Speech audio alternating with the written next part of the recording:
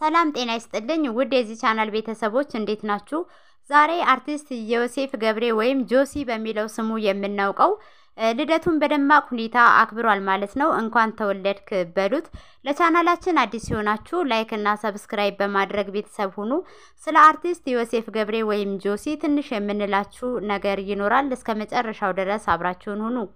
አርቲስት ዮሴፍ ገብሬ ወይም ጆሲ በሚለው ስሙ የምናውቀው ኢትዮጵያዊነት መልካምነት በሚል መርህ የመረዳዳት የመተዛዘንና አብሮ በጋራ መድመቅ የተሰማራ አቅመ ደካሞችንና የሀገር ባለውለታዎችን በመደገፍ እንዲሁም የተጠፋፉ ቤተሰቦችን አፈላልጎ በማገናኘት የሚታወቀው ኢትዮጵያውያን ከኢትዮጵያውያን አልፎ ኤርትራውያንንም ቀልብ መሳብ እየቻለ ለብዙ ቲቪዎችም የነ ሰይፉ show ን ጨምሮ መልካም አርያ መሆን እየቻለ የስብዕና ባለቤት የሆነ ወጣት ዮሴፍ ገብሬ መሆኑም ይታወቃል ማለት ነው።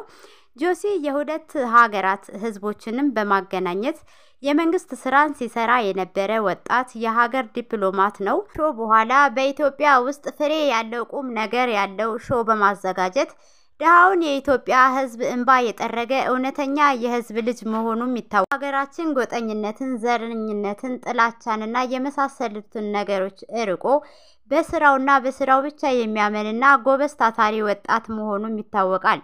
ታዲያ ይሄ ወንድማችን ዛሬ ልደቱን በደማቅ ሁኔታ እያከበረ ስለሆነ እንኳን ተወለድክ እንኳን አደረሰክ እንበለው።